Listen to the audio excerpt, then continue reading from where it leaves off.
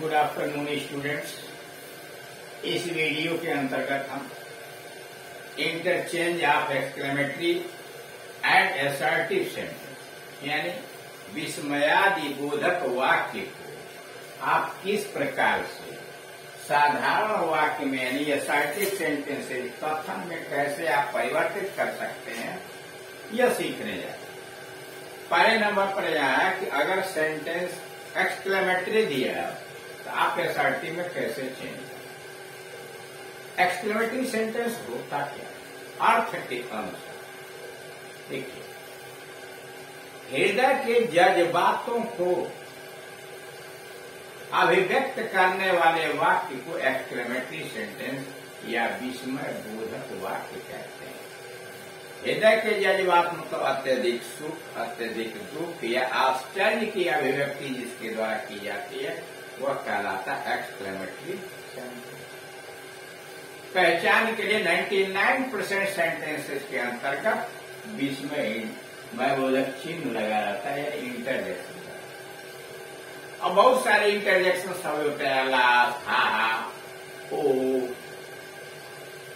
How what से शुरू करके, जिनके द्वारा पता चलता है कि एक्सक्लेमेटरी सेंटर इसकी दूसरी विशेषता यह होती है कि जब आदमी अत्यधिक उत्तेजना में होता है, जोश में होता है, जज्बात में होता है, वह तो ग्रामर व्याकरण के नियम का पालन नहीं करता। जो बोल दिया उसने, वो सब सही है। इसलिए वो सामान्य परिस्थितियों के अंतर्गत वह व्यक्ति नहीं है। उत्तेजना में है, जोश में है। Just like. एक गेंद अब पाँच रन वाला है तो इतना तो मान के चले पंचानवे परसेंट उम्मीद ऐसी नहीं। और जो बैट्समैन है, वो खराब है, जिससे एक रन की उम्मीद तो की जा सकती है छक्का की उम्मीद तो सब लोग टेंशन अब बाई दी, गेंद फेंकी गई और उसने छक्का मार दिया, पाँच रन को या छह रन उस समय जो खिलाड़ी होंगे उस देश के कितने जोश में होंगे। तो व्याकरण सामान्य अवस्था में नहीं है। व्याकरण के नियम का भी पालन नहीं करें। जो बोल दिया एक्सक्रीमेटरी सेंटेंस कोई सुख की घटना है, किसी के। का लड़का आईएएस में आ गया, अचानक उसको रिज़ल्ट प्राप्त हुआ, उसके पिता को। तो जो खुशी में वो बोलेगा, वो एक्सक्लेमेटरी सेंटेंस है। कर्ता कहीं हो सकता है क्रिया कहीं हो सकती है एडजेक्टिव कहीं हो समझ रहे हैं ऐसे अब ये तरह एक्सक्लेमेटरी सेंटेंस एसर्टिव सेंटेंस क्या होता है एसर्टिव सेंटेंस साधारण कथन होते हैं जिसमें कर्ता पहले आता है फिर क्रिया आती है सहायक क्रिया तो सहायक क्रिया फिर मुख्य क्रिया बाकी शब्दों को लेकर लास्ट में कोई स्टाफ लगा होता क्लियर अब उसी एक्सक्लेमेटरी सेंटेंस को आपको एसर्टिव में बदलना है एसर्टिव मतलब चाहे वह पॉजिटिव में या चाहे वह निगेटिव में। जैसे, देखिए, कई मॉडल होते हैं। अगर सेंटेंस हाउ और वाट से शुरू है तो वह आश्चर्य की बात हो सकती है। कहीं कहीं खुशी की बात हो सकती है। यहाँ जैसे लिखा हाउ फाइन दी मॉर्निंग सुबह कितनी अच्छी है। The morning is very fine how और वाट ए को हटा देते ठीक?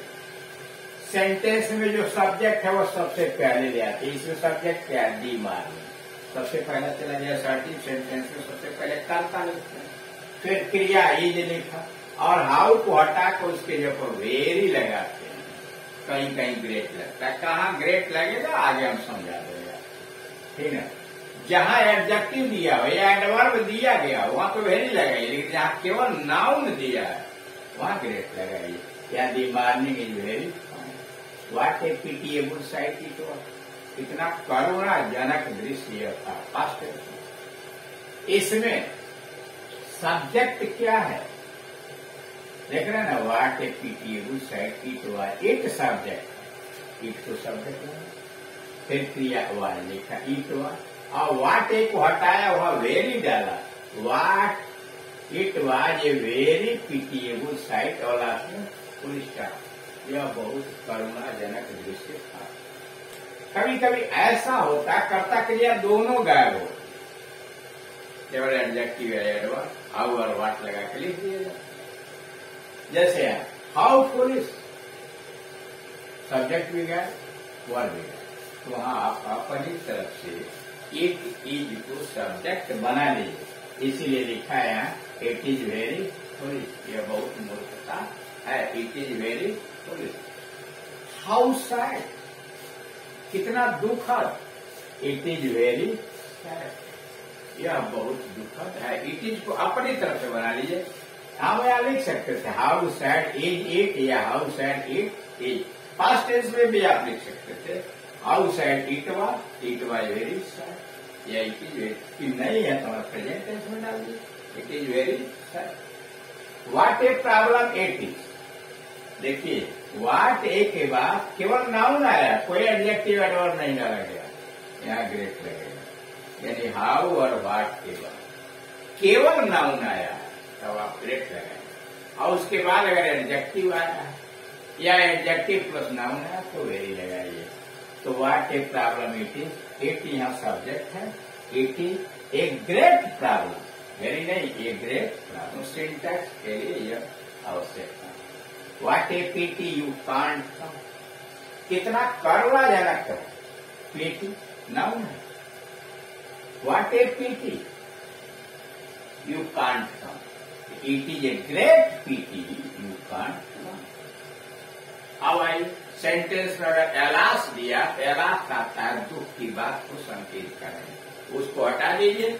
और लिखिए it is matter of sad या इट इज़ वेरी सैड या it is matter of sorrow it is very sad बहुत दुख की बात है। एलास को हटाइए वहाँ इट इज़ वेरी सैड या इट इज़ सैड भी लिख सकते हैं that we have lost it is very sad that we है दुख की बात है कि हम लोग खो चुके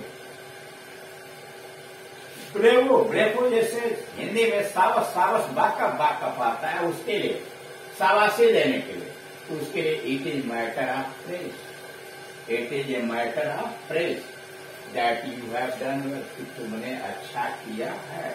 It is a matter of praise that you have done brave well कभी कभी ऐसा होता है सब्जेक्ट ऑब्जेक्ट सब गायब अपनी तरफ़ से बना लीजिए यू हैव डन वेल या it is a matter of praise you have done well it is a matter of praise that you have done या सीधे बस you have done would that अगर सेंटेंस वुड से शुरू हो ओ that से शुरू हो वनली से शुरू हो तो उसको हटाइए वनली हटाइए, वो हटाइए वुड दैट हटाइए, और उसके जब आई विश लिखिए would that I had not wasted my time. ये हार्दिक इच्छा के लिए वुड और वो दैट इत्यादि आता काश मैंने अपना समय बर्बाद नहीं किया होता।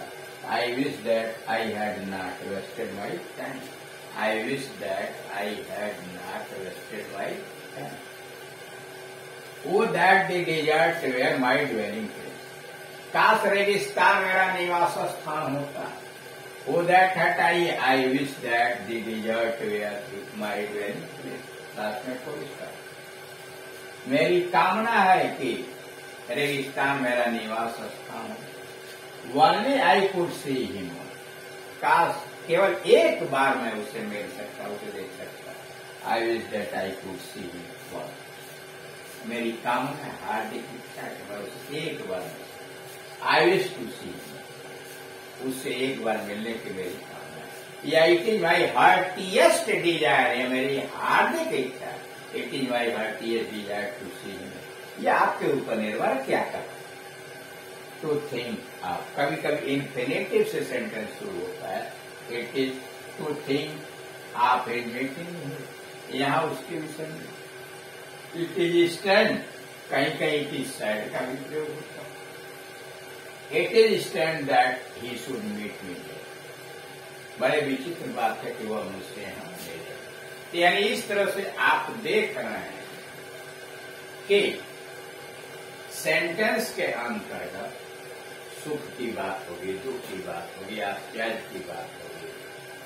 कहीं कहीं आपको